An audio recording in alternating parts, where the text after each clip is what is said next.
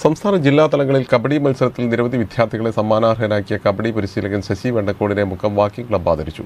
Mukkam high school ഗ്രൗണ്ടിൽ നടന്ന ചടങ്ങിൽ Mukkam C I Sumith Kumar memento നൽകിയും walking club treasurer N K K Noushad പൊന്നാട അണിയിക്കുകയും ചെയ്തു.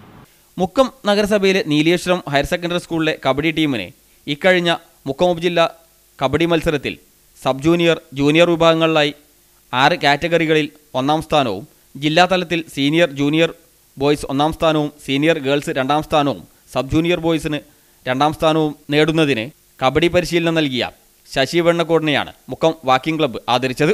മുക്കം ഹൈസ്കൂൾ ഗ്രൗണ്ടിൽ നടന്ന ചടങ്ങിൽ മുഖ്യ ഇൻസ്പെക്ടർ സുമിത് കുമാർ മെമ്മോ നൽകി. Walking club treasurer N K K Noushad പൊന്നാട അണിയിച്ചു.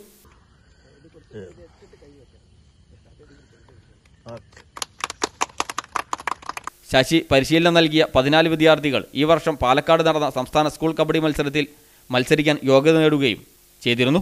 ഇപ്പോൾ മുക്കം സബ് ജില്ലയിൽ ജില്ലാ മത്സരത്തിൽ Mukkam Neeleswaram government higher secondary school ആറ് കാറ്റഗറിയിലും. Sub junior boys girls senior boys girls junior girls boys. ഈ ആറ് കാറ്റഗറിയിലും വിജയിച്ച് സർട്ടിഫിക്കറ്റ് നേടിയ നീലേശ്വരം ഹയർ സെക്കൻഡറി സ്കൂളാണ്.